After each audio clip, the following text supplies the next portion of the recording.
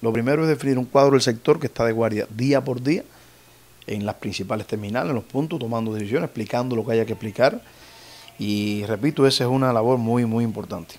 Segundo, se reordena el, sistema de ferrocarriles a partir de la disponibilidad de combustible que tengamos. Se, se, tomarán decisiones hoy con el tren nacional, es muy probable que deje de funcionar cada tres días y se alargue un poco más eso a partir precisamente de esa disponibilidad.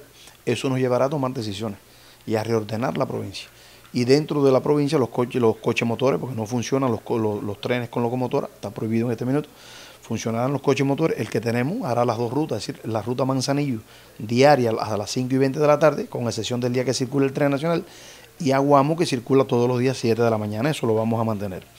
Una medida es priorizar los servicios básicos. Es decir, hay servicios que presta nuestra empresa de, nefrología, de hemodiálisis, de traslado de las reclusas, del funcionamiento del hospital, de los abuelos. Se está proponiendo mantener esos servicios y dar vitalidad como prioridad.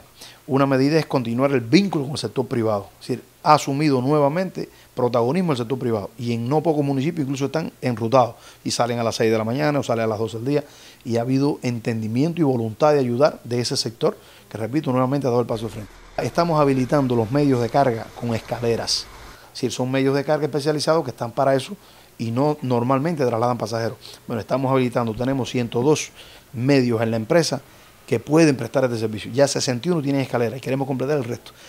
Definir a partir de la disponibilidad de combustible el uso de los ómnibus en los horarios eh, de mayor afluencia de pasajeros, es decir, en la mañana, el mediodía, en la tarde, concentrar los esfuerzos a partir del poco combustible que tenemos en esos horarios. Esas licencias son de forma general las principales medidas que estamos tomando en la transportación de pasajeros. No escapa tampoco la transportación de carga, que hay un número importante de acciones que también tributan a esto, porque hay un peso importante en la economía de la provincia y tiene que llegar la canasta básica a cada lugar, tiene que mantenerse el centro de carga y descarga a partir de lo que llega de otros lugares.